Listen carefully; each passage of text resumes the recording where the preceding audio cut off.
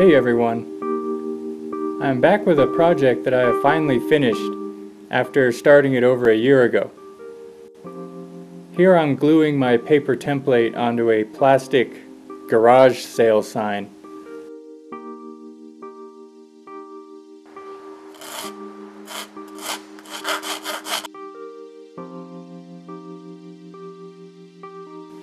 I'm using some leftover 532 inch thick 01 tool steel from my first knife.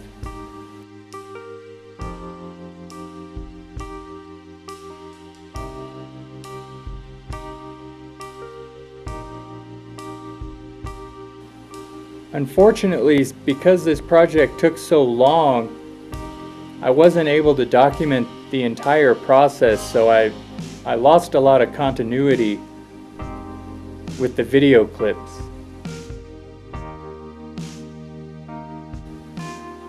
Filing a little notch always helps starting the hacksaw cut when the stock is angled like this.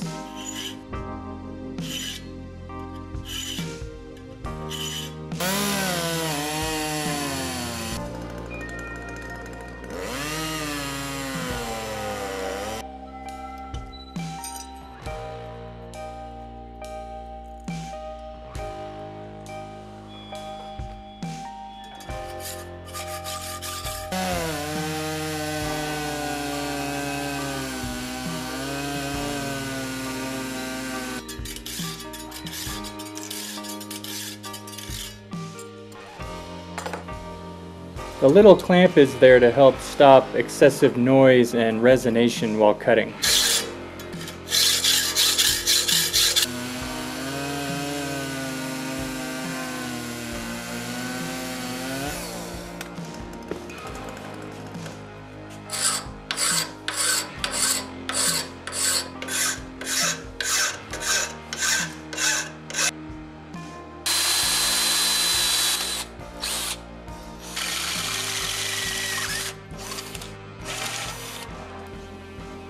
Here are two stainless steel liners that I have prepared. I cut them from an old barbecue spatula.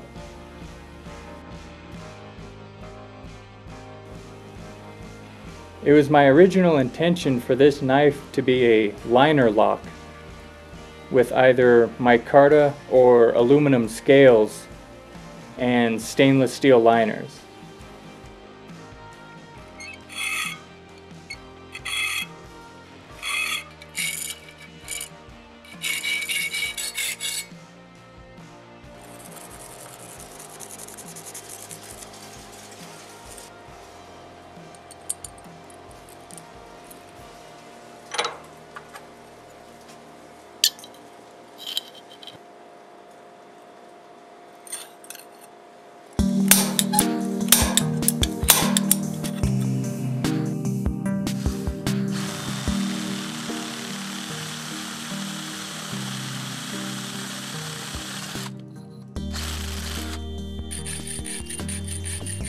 Here I'm cutting the lock bar.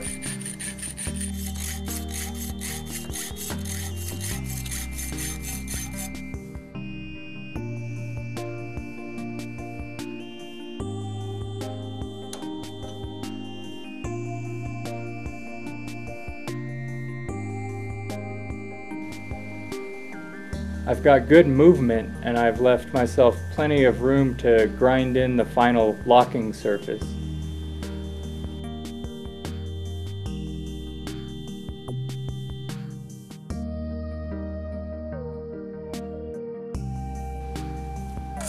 Time to grind in the blade bevel. I decided to go with a full flat grind this time.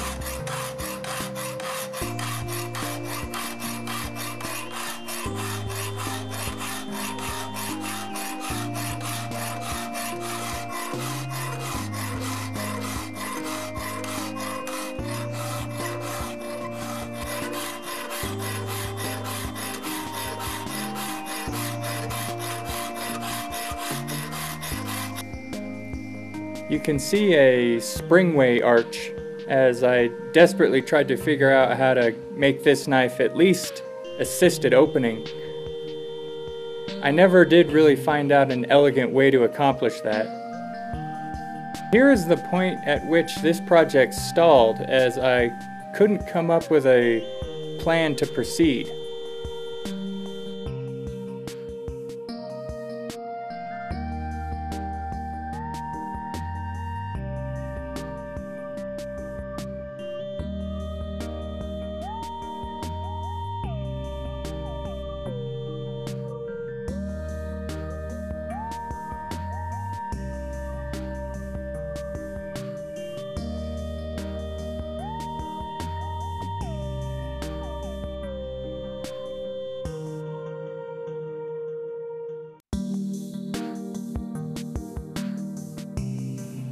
I decided, despite not really solving all of my goals, I would go ahead and finish it, otherwise, I'd, I'd never finish it.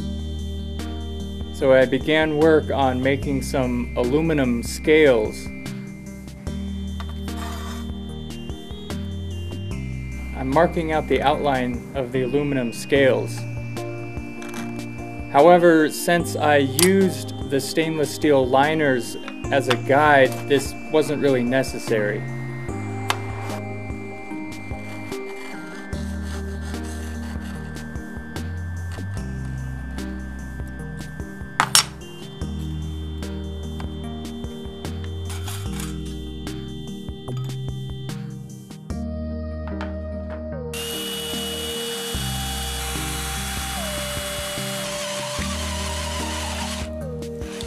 Have both aluminum scales sandwiched between the stainless steel liners. The liners will act as a guide and allow me to shape the aluminum scales to match the liners perfectly.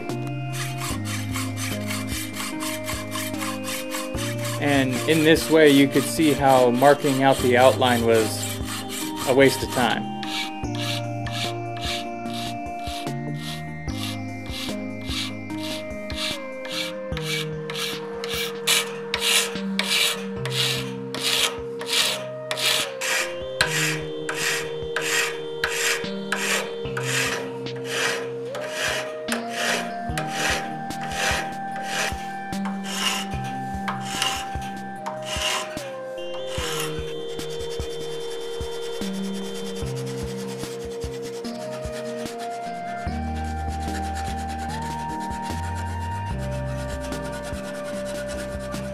Somewhere along the way I decided that the thickness of the aluminum scales that I had, plus the thickness of the stainless steel liners, plus the thickness of the separation required by the relatively thick blade, meant that this knife was going to be almost three quarters of an inch thick. So I changed my mind again and decided to abandon the stainless steel liners altogether. This would mean I would need a different means of locking the blade open. And for me, that meant making a button lock. And to make a button lock, I needed a button.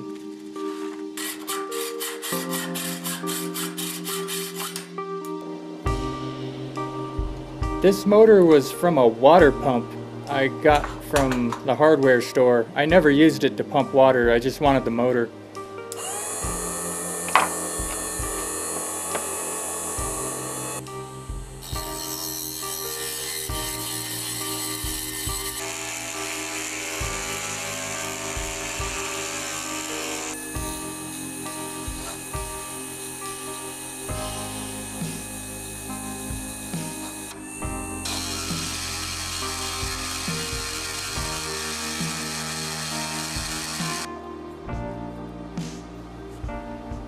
This wound up working much better than I expected. I'm also going to make a pocket clip out of some scrap stainless steel.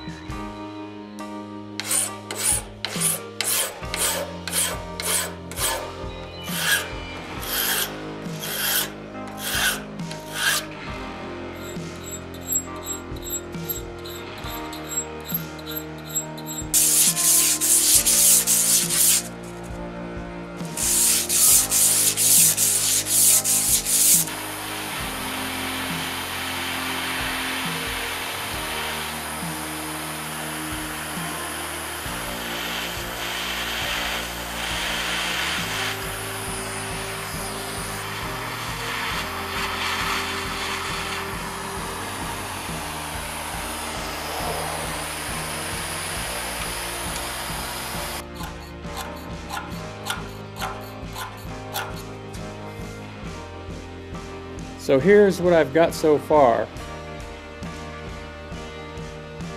It's quite a bit different than what I envisioned to begin with. Now this is starting to look like folding knife parts.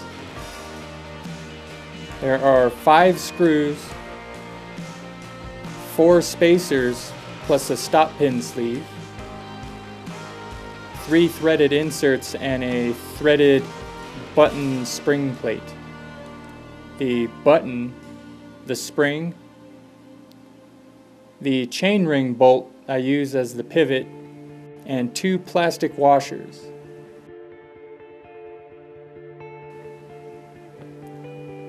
This is the part of the video where I explained all of the problems I had and things that I learned. If you're going to make a folding knife, particularly a button lock, there are some things to consider before you start. One problem I ran into is I didn't have my final hardware sorted out.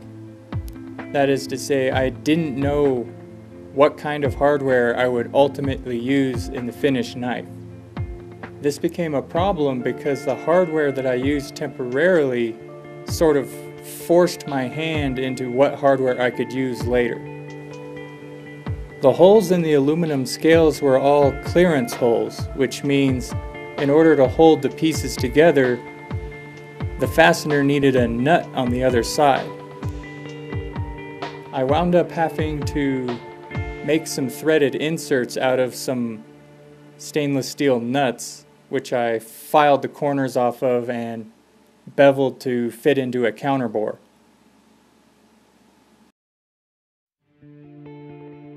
These are the aluminum spacers I used. They all needed to be hand fit because stock sizes were too big.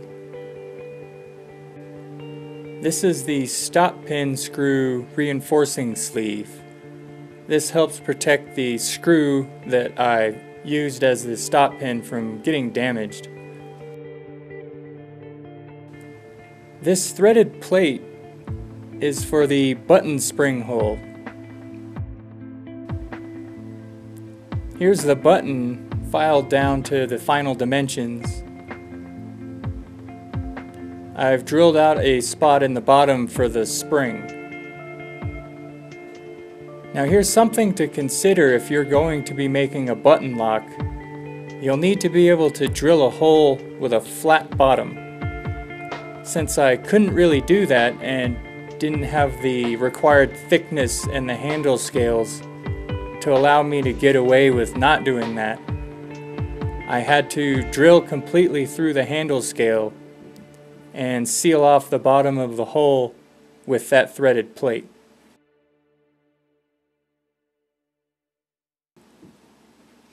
Here is the slightly modified chainring bolt I used as the pivot. Using such a large pivot kind of put me in a corner. I wasn't able to put a coil spring anywhere in here because the pivot didn't allow room for it. I also have two plastic washers that I made from a milk jug. Scales are countersunk for the hardware. You could see how the hardware size dictated how close to the edge I could drill the holes for the spacers. You can see here now a problem I ran into. I had to reshape the blade in order for the edge to not contact the spacers on the back.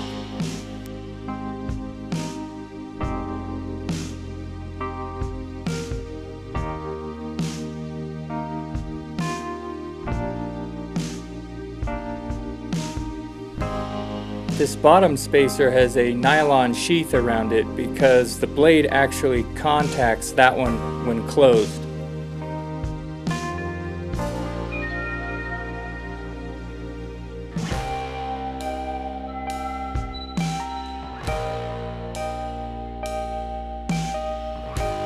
Here you could see the small lockup surface for the button when the blade is in the open position.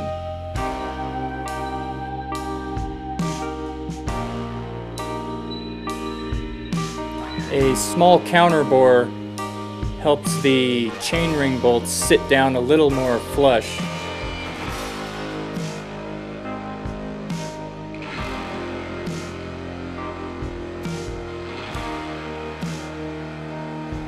You can see here now how the button would interact with the blade.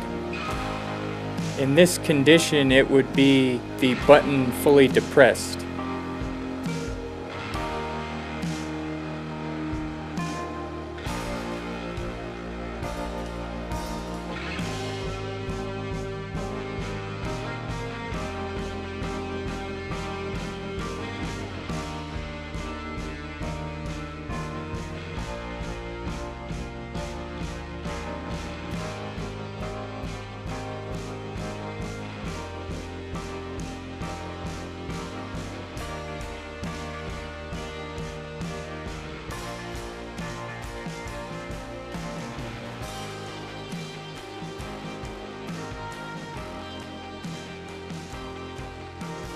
If you're going to fabricate your own button, there are a lot of things to consider.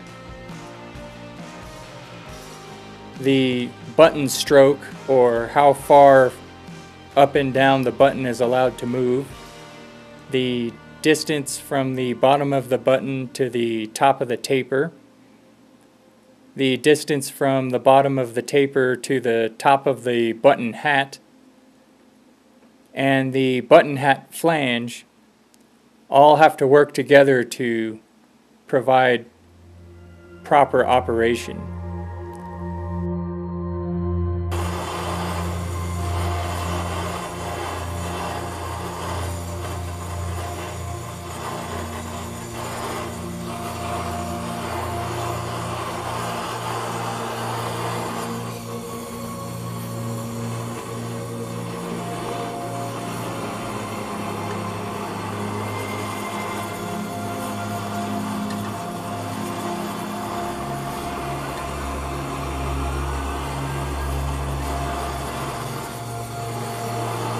After heat treating, I tempered the blade at 400 degrees for two hours in a toaster oven.